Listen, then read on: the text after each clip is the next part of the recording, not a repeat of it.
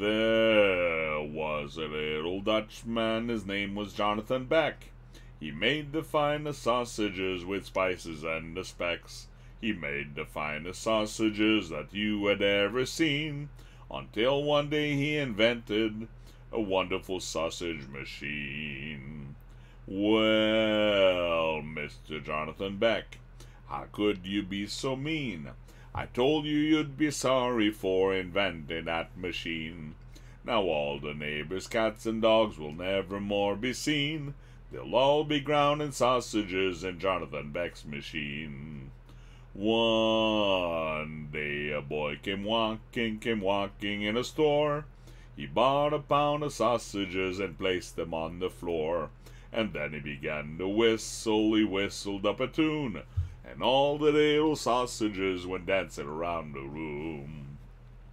Well, Mr. Jonathan Beck, how could you be so mean? I told you you'd be sorry for inventing that machine. Now all the neighbors' cats and dogs will never more be seen.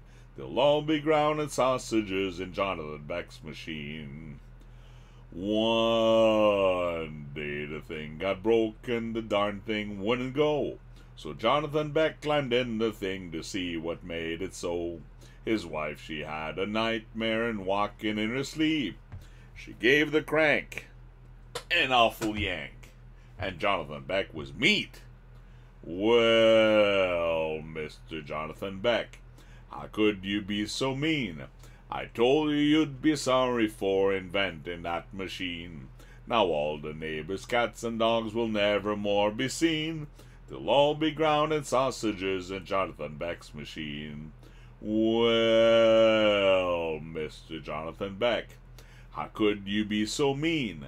I told you you'd be sorry for inventing that machine. Now all the neighbors' cats and dogs will never more be seen.